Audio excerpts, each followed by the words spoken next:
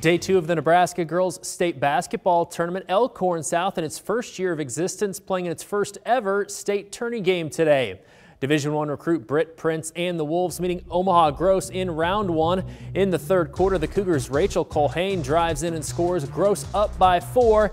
Heading to the fourth, Cougar fans loving that. In the fourth, some nice ball movement by Elkhorn North. Grace Thompson for two, Wolves within two. Elkhorn North students psyched. Later in the fourth, Prince finds Hannah Najwick, two of her team high 11. Elkhorn North wins its first ever state tournament game 35-28 despite some first time nerves.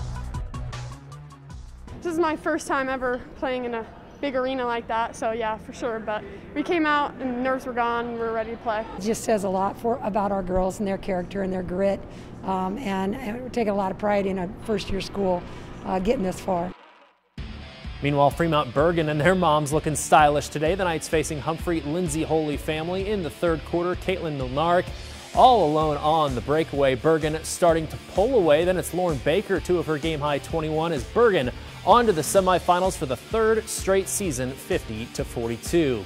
Other scores of note from today, North Bend Central beating Broken Bow in Class C1 50 to 29 and Weeping Water wins against BDS 55-45. It's always interesting to see the characters in the crowd yeah. at the state basketball tournament from the student section. Even the moms wearing some crazy wigs today. Plenty of school spirit in Lincoln. I know. I love the moms, especially when the parents like that get dressed up. It just kind of makes it even more fun. It's cool to watch.